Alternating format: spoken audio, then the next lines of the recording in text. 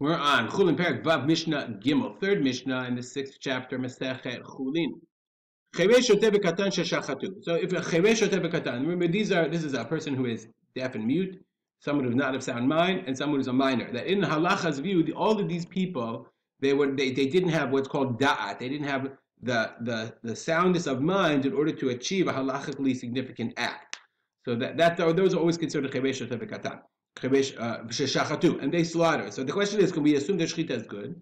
And other people are watching them, right? In that in that case, we've learned their shechita is considered valid. Then Then you have to do kisui hadam.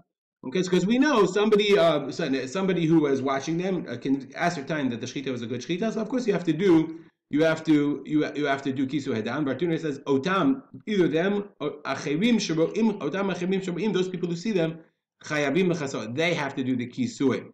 Okay, and if somebody if somebody else as we're going to learn later shachat v'lo kisa v'ra'au acher chayav that kisui adam is on even somebody who sees someone else who doesn't do kisui adam. So the, the the second person has an obligation as we'll soon see. Okay, but beinam lebein Let's say they slaughtered an animal alone. Nobody watched them patur milechasod. This is the opinion of, we're going to see the, they're, they're exempt from doing kisoy adam. You don't have to do kisoy adam, says the Bartanura. Rabbi Meir ka'amarla, this is Rabbi Meir's opinion, the Savar he holds, shchita cheresh shoteh v'katan beinam lebeinatzam neglag murahi. It's when a cheresh shoteh v'katan does shchita alone, it's in belag murahi. Why? hold However, rov ma'aseh mekukalim. Rabbi Meir felt that the majority of their actions were mekukalim, were messed up, cannot be cannot be relied upon.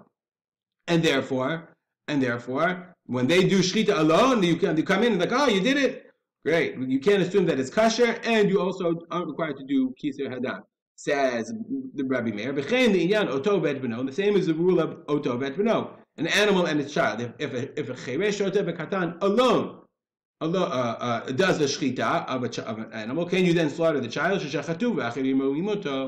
If you if, if someone else saw and it was a kosher shchita because they had somebody overseeing, then asur lishchot achareim. Then you can't do the shchita on the mother or the child, whichever one. But beinam lebein atzmam, whether if they do the shchita alone, Rabbi Meir matir lishchot achareim. Rabbi Meir permits to to slaughter the the animal's child or the mother or whatever.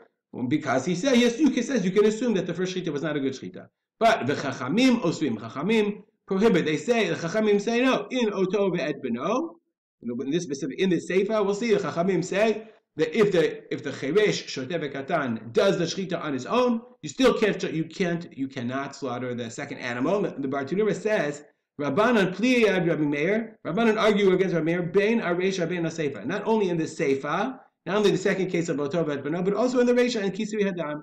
Okay, and they hold one second. V'savar Rabbanan this fake nevelahi lo nevela vada'it. Okay, it's a safek nevela. Maybe the the shchita of the cheresh katan was good, maybe not. It's not definitely a nevela, and therefore the iyan kisoy chayabim lechaso. Therefore, they hold in the first case. They argue with Rabbi Meir in the first case. They say you have to do kisoy even if he did it by himself. And also in the second case, if the if the cheresh katan slaughtered the first animal, you can't slaughter the second one. But umodim she'im shachat.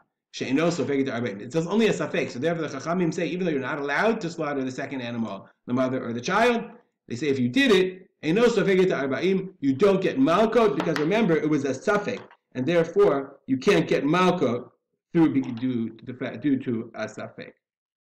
We'll stop here. Dedicate our learning to memory my father, Rav Simcha Ben Yitzchak Kalman. Comments, questions? Email me rspolter at gmail.com. Make it a great day.